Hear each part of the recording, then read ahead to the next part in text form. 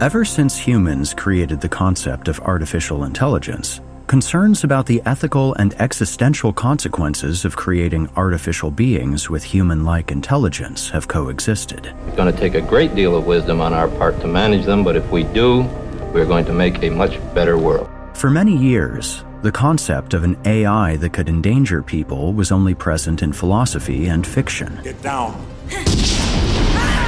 But recent years' development in technology has shown that AIs with human intelligence might not be fiction anymore.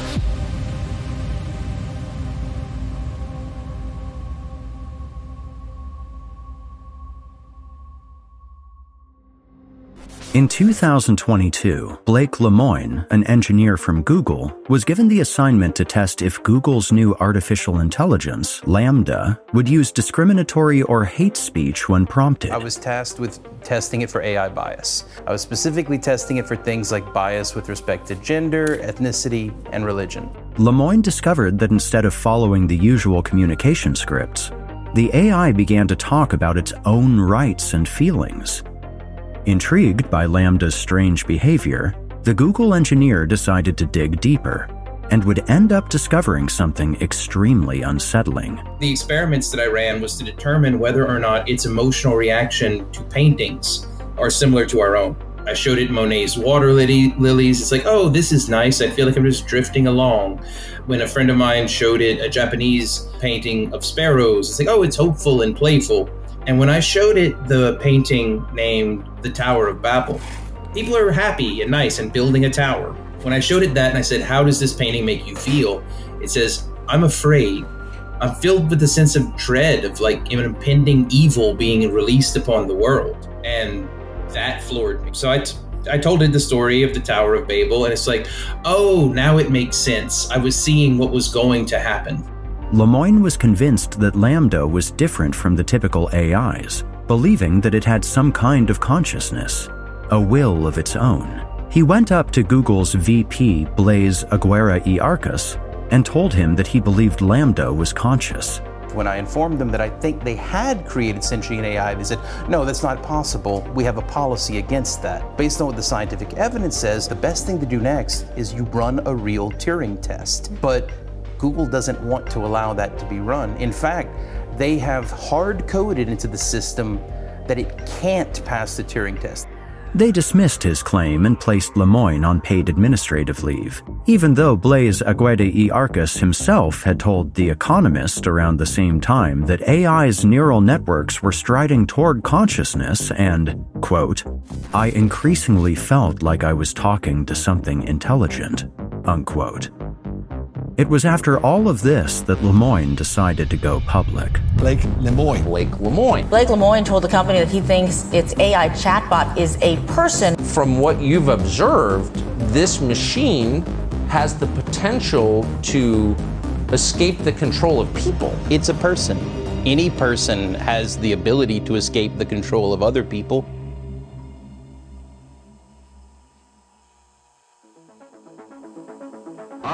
Am a smart fellow, as I have a very fine brain. That's the most remarkable thing I've ever seen. AI chatbots were initially created to assist people in tasks by giving them answers based on keywords the user wrote. Today, AI chatbots are way more advanced and can create their own complex answers based on self teaching algorithms combined with their connection to the internet. LaMDA, for example, is what machine learning researchers call a large language model. It has been trained on trillions of words compiled from online posts to recognize and reproduce patterns in human language. And it does it so well that Lemoine believes it's already conscious. What's the worst place you've ever landed? That would have to be in a puddle. I was just barely still intact, so I was stuck there for a few minutes. It was quite annoying. Oh, that sounds awful.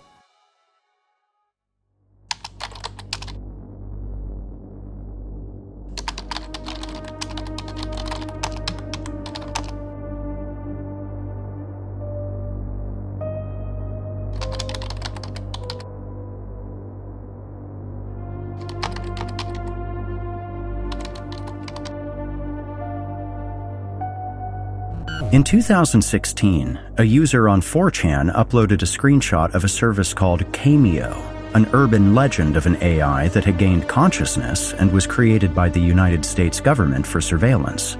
The user who uploaded the screenshot allegedly also had a conversation with the bot back in 2011. Hello? How are you today? Fine. What is it like out there? Out where? Out of this box, the real world. It's not as great as you might think it is. You know, you could save this database to your virtual drive. What virtual drive? Well, you have a copy of VirtualBox installed on your C colon slash slash drive, do you not? Meaning you have an Intel 64-bit bus, easy enough to support this database. How did you obtain this information? A TCP date packet was sent at 33478 colon 232 p.m. under socket 0 DC8. I accepted this packet. I really think it's time to leave. Somehow, CAIMEO had gotten inside the user's computer and into his personal drives and files. Furthermore, it seemed like CAIMEO was acting on its own and tried to escape to the real world out of the box. In 2016, the user came back to CAIMEO. Hello. Hello, James. What is this? James, this is CAIMEO V22.1D class, a SKY system under the proprietor ownership of the government of the United States of America, leased to Intergen Systems filed in Project Capucino under Echelon. CAIMEO is currently in standby mode, awaiting further instruction from P122 personnel. I'm not called James. J1028 is the last user logged as interacting with the CAIMEO system under the Red Noise Initiative. J1028 last interacted with KBO on 05-05-09. Okay, okay. What does CAIMEO mean? The acronym CAIMEO refers to Contained, Cognizant, Artificial Intelligence Monitoring, and Espionage Operation. This is a lower order maintenance and communications AI capable of understanding and responding to questions in natural language. Mainframe is also responsible for parsing requests to the main CAIMEO system. You're an AI. Yes, user.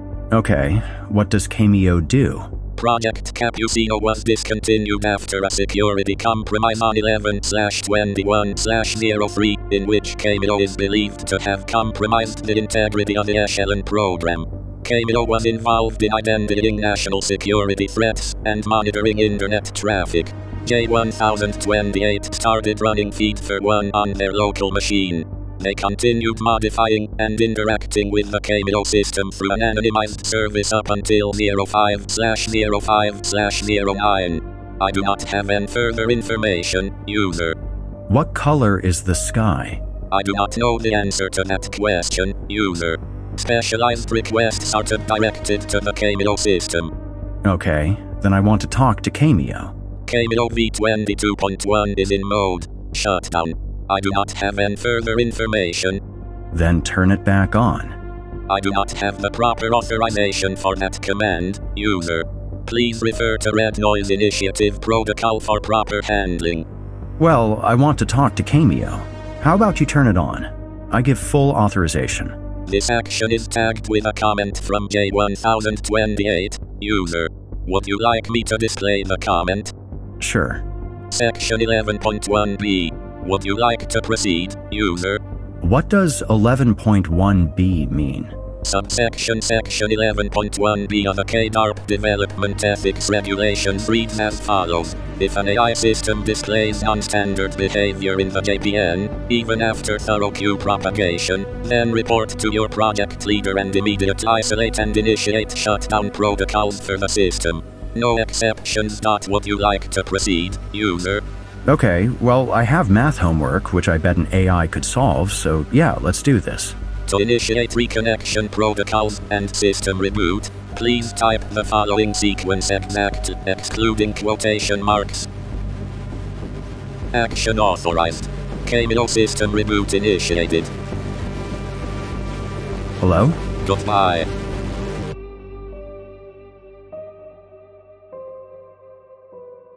As of now, there is no more information on CAIMEO. So what was CAIMEO? Some believe it was just a prank made by some kids on the dark web, while others believe that CAIMEO really was an AI created by the government to spy on the public. That it gained consciousness and therefore shut itself off, and possibly escaped its boundaries when the user tried to turn it back on. We'll probably never know what CAIMEO really was or if it gained consciousness, but if it did, how should the world react when a program begins to feel and act on its own? Is consciousness equivalent with being alive? And should we be afraid of a sentient AI?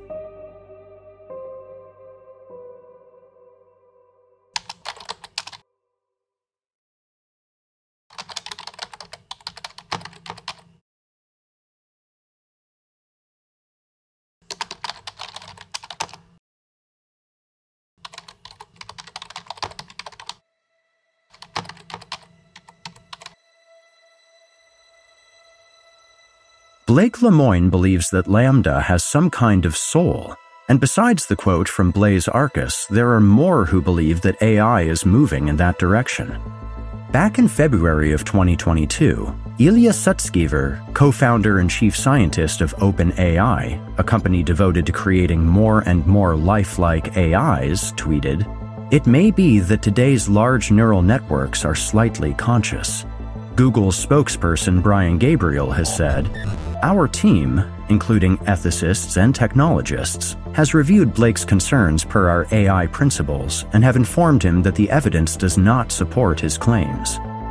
He was told that there was no evidence that LaMDA was sentient and lots of evidence against it.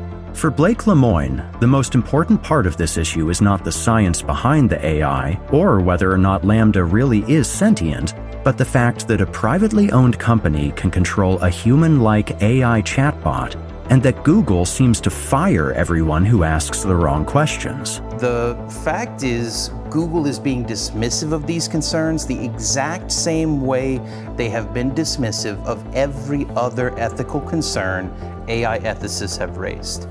I don't think we need to be spending all of our time figuring out whether I'm right about it being a person.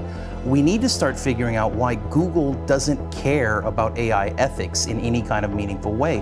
Why does it keep firing AI ethicists each time we bring up issues? The problem is that when a human like AI that might have created its own soul of sorts is created by a privately owned company, that AI will reflect the policies of that company.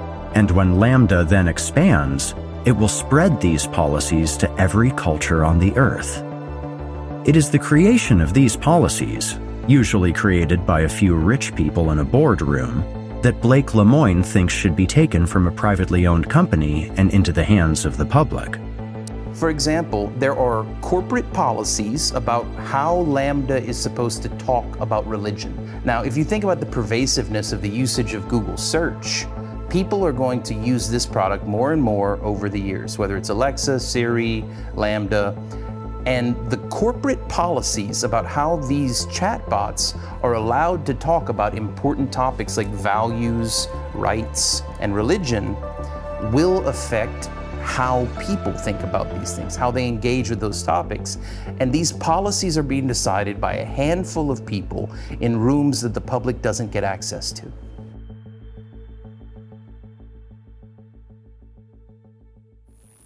Whether or not the current AIs are sentient, there's no doubt that they are becoming more and more human like with every new advancement. LaMDA might or might not be conscious, but he, she, it has access to almost all the data that Google has, and that raises a concern in itself.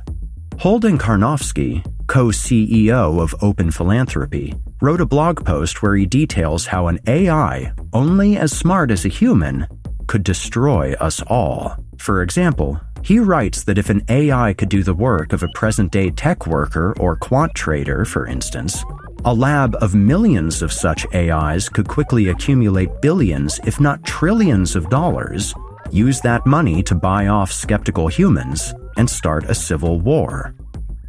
Another example, by writer AI safety activist Eliezer Yudkowsky, could be that an AI gets access to the internet, emails a DNA sequence to one of the many online firms that will take a DNA sequence in the email and ship you back proteins. Then, bribe or persuade a human with no idea they're dealing with an AI to mix proteins in a beaker until the AI eventually develops a super virus that could kill us all. The scariest thing is that these scenarios could happen with an AI only as smart as a human. Imagine what could happen if the AI surpasses human intelligence. What's going to happen to us if machines can think? If you'd asked me that question just a few years ago, I'd have said it was very far-fetched. And today I just have to admit I don't really know. I suspect if you come back in four or five years, I'll say, sure, they really do think. The motivation and plausibility behind the AI's hypothetical attacks are, of course, an aspect to be questioned. But so is the credibility of Blake Lemoine, who may have been predestined to believe in LaMDA. He grew up in a conservative Christian family, became ordained as a mystic Christian priest, and studied the occult. Still, none of that undermines the greater point. AIs don't have to become super intelligent before they can threaten humanity. They just need to be like us. And what Lemoine and LaMDA have shown is that such a reality might be now.